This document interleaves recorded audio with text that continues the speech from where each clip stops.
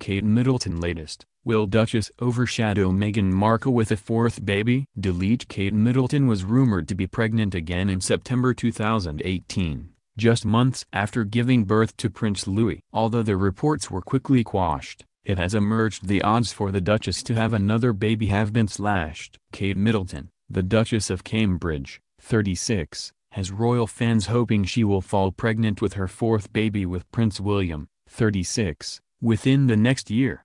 According to Ladbrokes, royal baby mania is well underway after Meghan Markle, 37, and Prince Harry, 34, announced their pregnancy in October. The Duke and Duchess of Sussex's baby is due to be born in the spring of 2019. But the new arrival for Meghan and Harry could be overshadowed if the Duke and Duchess of Cambridge announce they are pregnant with their fourth child.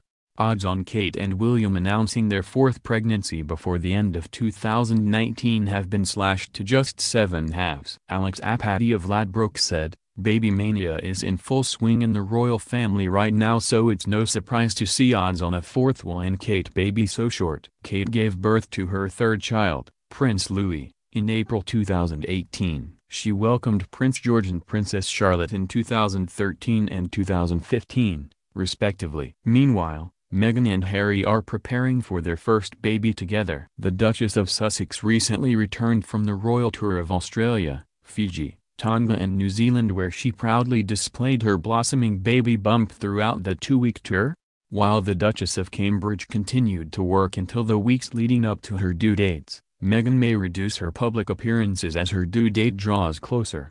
Kensington Palace has yet to release a future itinerary for the Duke and Duchess of Sussex. There is a chance Meghan will take a step back from the limelight as she prepares for the arrival of the couple's baby. While on tour in Australia, Meghan's team whittled down her commitments to allow the Duchess more time to rest. A royal expert who was in Australia with the couple tweeted, One source tells me it isn't that the Duchess is feeling poorly, but they're trying to pace her given how many engagements are coming up. Meghan told one royal fan who turned out to see them on tour that pregnant felt like jet lag and she was up at 4.30 am doing yoga as she couldn't sleep.